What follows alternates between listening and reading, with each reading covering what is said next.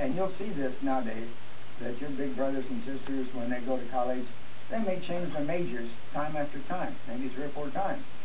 And uh, I got through three years, and I still hadn't made up my mind what the heck I wanted to do.